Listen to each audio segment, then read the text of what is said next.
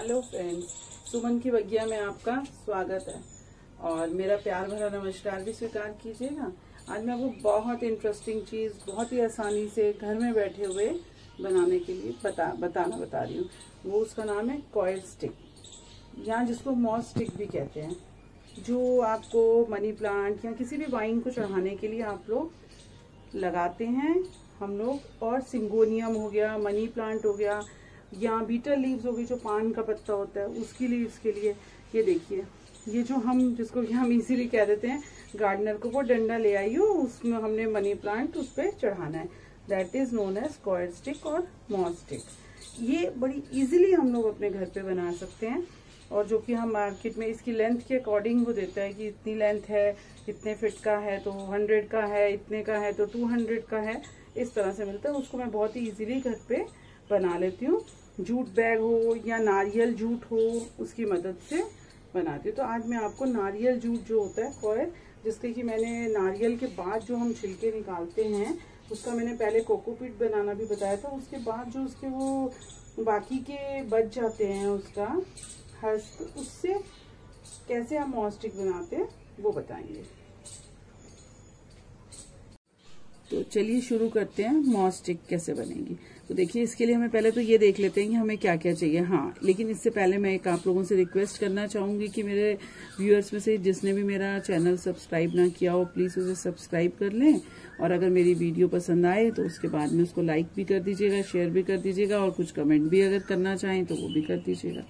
तो चलिए स्टार्ट करते हैं। देखिए, ये पाइप है एक ये आम घर पे सबके मिल जाती है, या प्लास्टिक की पाइप, या कोई भी और पाइप ले सकते हैं। एक आपको धागा चाहिए थ्रेड किसी भी तरह का, और एक जो नारियल आप लोग खा रहे होंगे, उसकी ये हस जो होती है, अगर आप इसमें से कोकोपिट निकाल लें तो भी ठीक है, उसके बाद भी बन जाएगा। इसमें मैंने कोकोपिट नहीं निकाली है, लेकिन इसको मैंने क्या किया है कि क्योंकि ये बहुत ही सूखा था तो इसको हमें इस तरह से अलग अलग करना पड़ता है, जिससे कि बहुत उड़ रहा था तो मैंने इसको इजी करने के लिए देखिए क्या किया है।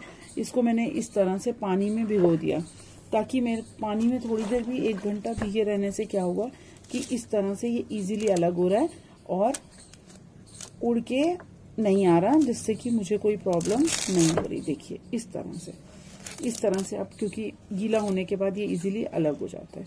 तो इस तरह से मैंने सारा अलग कर लिया है इसको। अब देखिए आपको क्या करना क्या है। और क्या चाहिए? ये देखिए, ये आप थैली में सब्ज़ी ला रहे होंगे, इस तरह से सब्ज़ी आती है।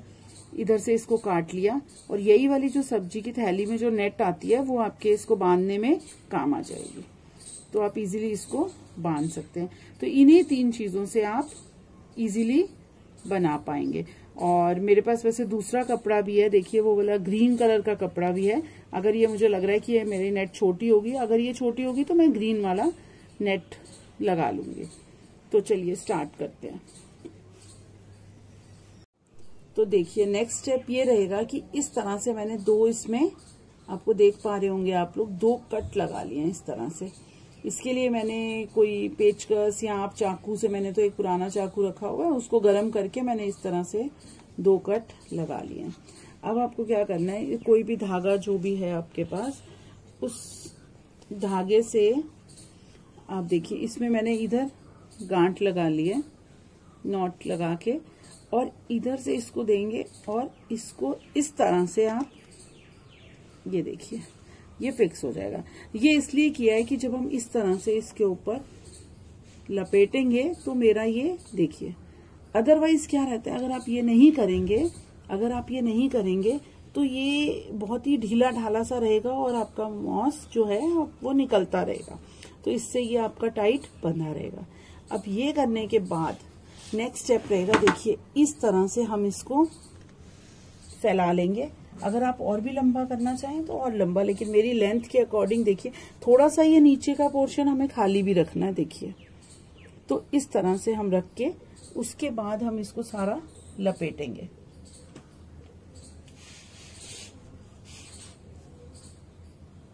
देखिए, इस तरह से हमें इसको लपेटना है। और इसको इस तरह से ऊपर से भी टाइट करके और इसको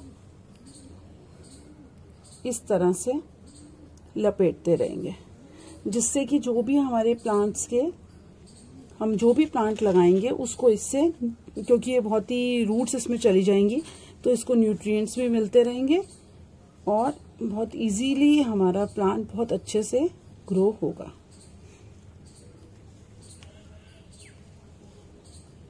तो देखिए, इसको मैंने पूरी तरह से बाँध दिया। इस नारियल जूट को कोकोनट जूट को। और उसके बाद ये जो मेरी थैली बची हुई थी, जब मैंने इसको भी लगा लिया, यहाँ से देखिए। लेकिन प्रॉब्लम ये हो रही है कि इसको मैं यहाँ पे तो इसको टाई हो जाएगा, लेकिन ये थैली थोड़ी सी फटी हुई निकली है तो ये नहीं लग पा रही।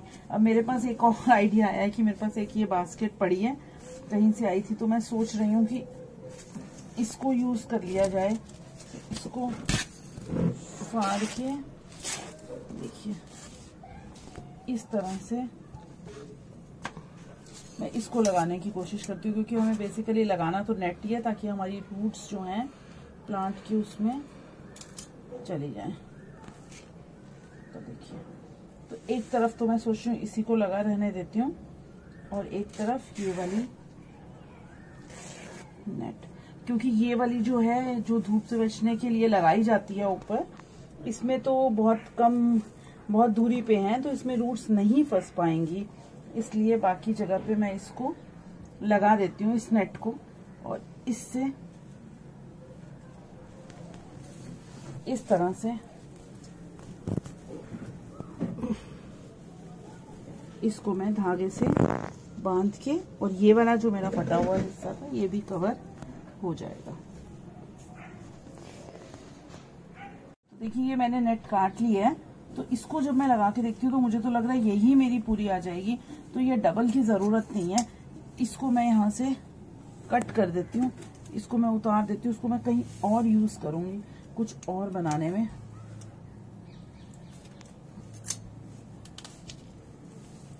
क्योंकि ये यहाँ से फटी हुई थी, नहीं लग पाएगी। तो मैं अब इसको ही लगाने की कोशिश करती हूँ इस पे।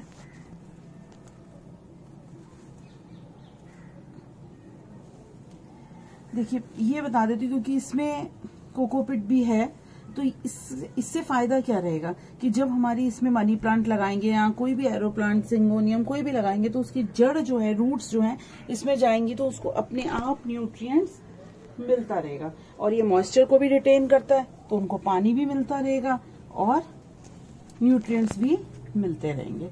तो मैं इसको धागे से बाँध देती हूँ। जब मैं इसको धागे से बाँध रही थी, क्योंकि ये नेट जो है, ये बहुत ही बारीक वाली नेट है तो ये धागे से नहीं संभल रही थी। तो मैंने इसको सोचा थोड़ा सा मैं इसको इस तरह से मोटा मोटा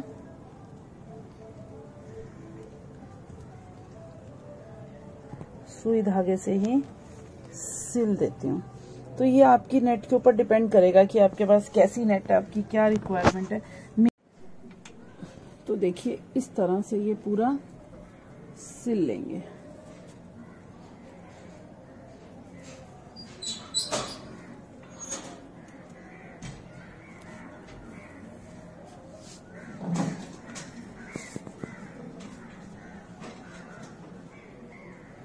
अब सिलने के बाद देखिए, इस तरह से। ये आपने ये जो नीचे से जगह छोड़ी है, ये इसको मिट्टी में दबाने के काम आ जाएगी। देखिए, इस तरह से हमारी ये मॉस्टिक तैयार हो गई है और हम इसको इस तरह फिक्स कर देंगे। और इसमें अब हम प्लांट लगा देंगे। देखिए, बस आपको ये देखना है कि ये जब आप ये हस्क लगा रहे होंगे नारियल का तो बहुत इसको बहुत टाइट नहीं करना है। टाइट करने से क्या होगा कि आपकी रूट्स जो हैं, इसमें नहीं जा पाएँगी। और आपको उस, उनको यहाँ से न्यूट्रिएंट्स नहीं मिल पाएगा। तो अब देखिए ये वाला मेरा प्लांट है। तो इसको इस तरह से। अब एक और बात आती है कि आपको लगाना कैसे है? देखिए जब आप लगाते हैं तो आप ये देखिए कि बिल्कुल एक इधर है एक बिल्कुल। ना तो आपको इसके साथ लगाना है ना ही आपको इस मॉस्टिक के साथ लगाना है क्योंकि ये हमेशा गीला रहेगा मॉइस्ट रहेगा। और अगर आप बिल्कुल साथ में लगा देंगे तो ये भी गीला रहने से इसकी रूट जो है वो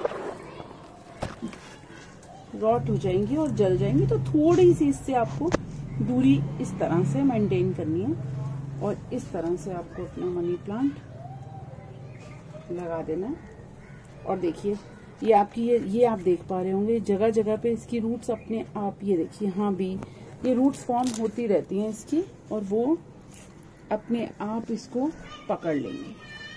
तो इस तरह से आपका, इसको यहाँ से हम बाँध देंगे।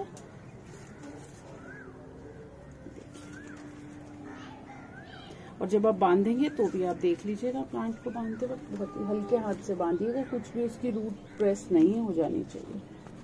तो देखिए। तो इस तरह से आपका मॉस्टिक तैयार हो है और आप अपना कोई भी मनी प्लांट इस पे लगा सकते हैं। अगर आपको मेरा वीडियो पसंद आया हो तो प्लीज़ लाइक करें शेयर करें। Okay bye friends